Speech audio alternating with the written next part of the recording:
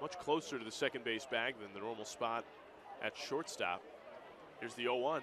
Eric swings and lines it to left field. That's down for a base hit, and it's going to skip into the alley. For extra bases. Greg Bird will score. Eric Jagielo, his second double of the night, and he doubles the Thunder lead to 2 0.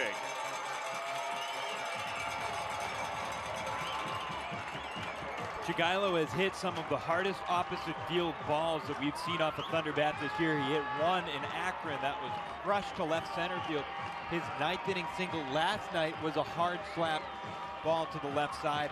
And this one, it looked like a base hit off the bat, and somehow it rockets its way up the gap past De La Cruz. And not only does it score Bird easily, it does get Jagielo into scoring position himself with still just one out.